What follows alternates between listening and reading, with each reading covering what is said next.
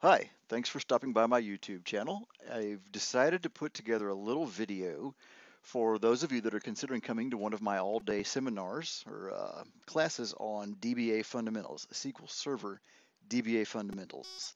Uh, just in case you're, you're curious if you're going to learn what you're going to learn and what my teaching style looks like, I wanted to have something for you that you could just kind of point your boss to to help justify any any costs that are decide for yourself if you know I can learn from this guy or I can't learn from this guy because there's different types of people that learn from different types of teaching.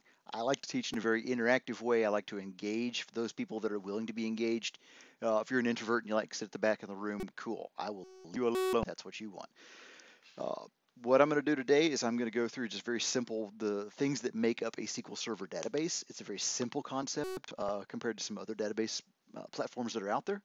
Um, if you want to follow me on Twitter, or as I like to put it, stalk me on Twitter, I love that. Go there and follow me at, at Kevin3NF. If you want a bunch of DBA, accidental DBA, SQL 101 type videos, not sorry, blog posts, occasionally a video, then go to dallasdbas.com slash blog or just kind of poke around on the site.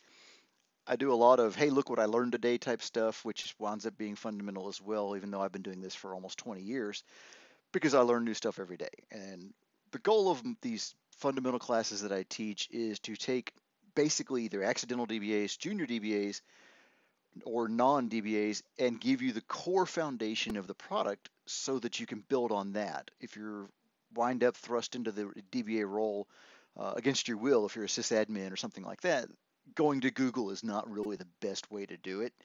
You don't know if somebody out there in the wild has put a good link in there or a bad link for you to click on some code and copy and paste. You certainly don't want to, you know, take random stuff into production with no idea what's happening underneath the covers. Doesn't mean that I'm going to teach you all the internals. That's not my job. That's Paul Randal's job, and he's very good at it.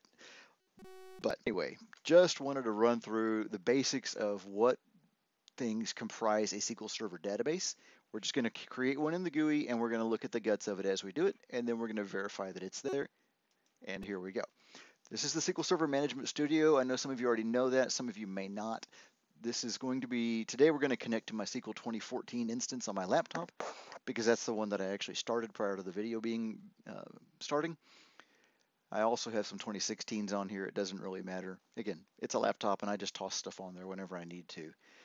When you want to connect to an actual instance and in Management Studio, you can connect to more than one at a time. In this case, I'm going to go with my KBH Precision because it's a Dell Precision laptop. It's a really fancy name. I'm going to connect to that and notice it's got the 12 here. That is that is a the the build number is 12 for SQL 2014. Yes, you're correct. That makes no sense. Microsoft got a little they they got lost between SQL 7 and SQL 2000 because 2000 became 8 because 8 is after 7 and they've never changed it to make any sense. But that's okay. Those of us you know in the industry know what it is. So right click on databases, go to new database, and yes, it really is this simple to make a new database in SQL Server. Uh, again, this is on my laptop, so you're going to notice that these two paths here are the same. For me, that works. In a production environment, you're going to want to have a much better idea of where you want your data. Anyhow, we're going to make, because this is a teaser video to get you come to my class, we're going to call it teaser. Perfect, right? I like to name my databases SA, or not name them, sorry, give ownership of them to the SA account because I know that's going to not go away. I've seen issues where if the owner of the database is the person that created it and they leave the company or their account gets disabled, the database has issues. There's some other things that they'll actually flat out fail if they're named for somebody that just left. So we'll move off of that. And something that's you need to notice here, these first two columns both have teaser in the name. The first one is your data itself. If you have a customer's database and you have a customer logical name, all your rows of information about your customer are going to wind up in this file. The second file is the log file. That is for the transaction log. Basically what that does, and I'm going to summarize a whole bunch of information here by saying any create, update, or delete statement, anything that actually changes data or the database itself, regular data or metadata, that goes through this transaction log before it winds up in this rows data file. So it goes from here to here. Well, it starts at your keyboard, then goes here, then goes here. That's basically just means there's two types of file. They each have their own function. This is where they're named.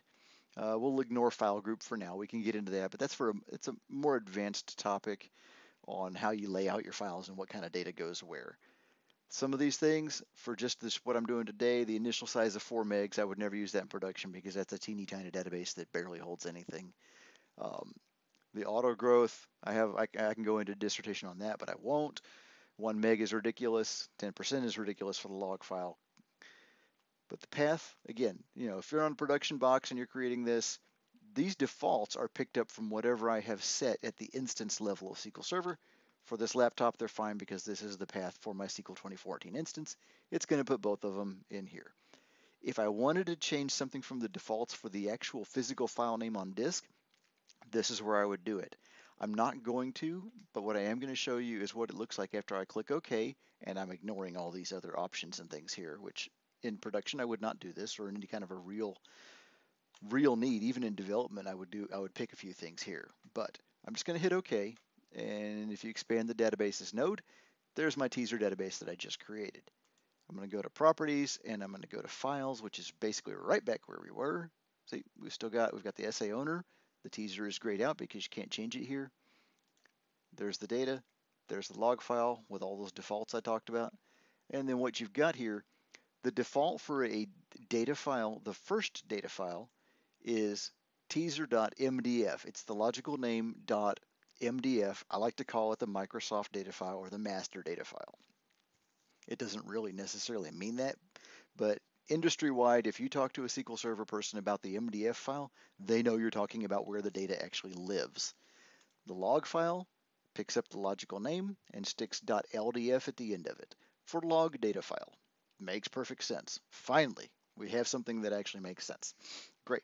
If I realize that I intended to actually have two data files, one for table data and one for index data, we can just click the add button down here and just to make it painfully obvious, I'm going to call this teaser dot, or sorry, underscore indexes. It's going to be a rows data because index data is actually stored in the same type of way as your regular table data that you think of because it is just more data. It's just data about data, if you will. And then we go over here and we notice that we're still in the data folder because it's again, it's picking up the default. And here I can skip this, but I'm going to go ahead and call it something obvious just in case that I don't like the default. Teaser index dot, in this case, I'm going to call it dot .ndf for next data file. Again, that is an industry standard across all SQL Server. It's not a requirement. I could call this file jim.bob.index if I wanted to, and it would take it. Of course, when I did this and a DBA came along, he would find me at my desk and, and call me names and point his, shake his finger at me that now he has to take the database offline in order to change that name to something that makes sense. I tab off of that, I hit OK, I go back into it, go to Properties, go to Files, and there they are. It reordered the, the it puts them in order by the file type, but there they are. The original one or the master data file, whatever you want to call it, the next data file, which is the one I created, and then the log data file. And that's it. Is from the at the database level, it's just the files that you created. There's nothing more to it. There's a minimum of two. You cannot have a data file without a log file and have your database start. It just won't do it. You cannot mess with these files while the database is online and the SQL Server is online. The SQL Server has a hook into them or a handle, and they're so they're in use and you can't touch them. You can't rename them on the on the drive. Um, you can go here and you'll see all the ones that match these are in this directory on my system. I'm not going to do that right now. So one other thing that is absolutely required, you could have all those files in the right place with the right names, and if your database won't come online when you restart SQL Server, it can simply be because there is a record in the master database, and I don't type in demos very often because I don't do it well. Master Sys databases. If you go here and the, the master database is one of the system databases that ships with the product, every database has a record in this in this in this table. It's actually a view, but whatever. There's the one we just created. So when SQL Server starts, it goes to its master database and says, "Hey, what all databases you have?" It says, "Well, I've got these four here that are system databases, arguably including these two as well. And these are all user level databases. But what I know about each of them is that they are in these following locations. And what we're actually going to be seeing here, let me scroll over, it's the MDF file. The MDF file, it contains information about where the LDF file is. So between these, this record and the MDF, the whole database comes online, or any additional data files all come online if they're there and there's no corruption issues or somebody hasn't messed around and renamed a file without this also being renamed. You actually click on the proper one there. You know, if, if somebody has named the file while the SQL Server is down and called it, you know, teaser data.mdf, if SQL Server doesn't know about that, it's not coming online because it's looking for this file, which no longer exists. So a record in this master database, and then the two or three or however many files you've created, two by default, that's what makes up a SQL Server database. There's a lot of stuff inside it as far as tables and views and, and security issues and things like that. But from a physical, what's on the drive and where do I find it type of question, two files, one record, that's your database. It's no more complicated than that. I've probably even already oversold it. So I hope you enjoyed this and have a little bit of an understanding of something you didn't before.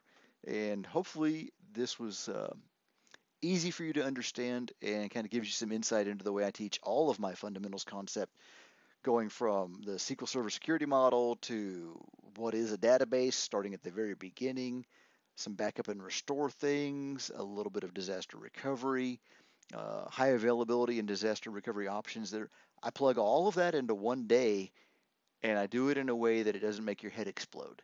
We don't go in depth on any of these things. And to be honest with you, I'm a little bit of a storyteller because I've been doing this for so long. I've brought servers back from the dead and I've blown some up and, and, and got yelled at for it. So I will share my mistakes with you just as much as I share the time I was awesome and got something done right at 3 o'clock in the morning. So I hope you liked it and I hope you come to one of my classes sometime. Have a great day.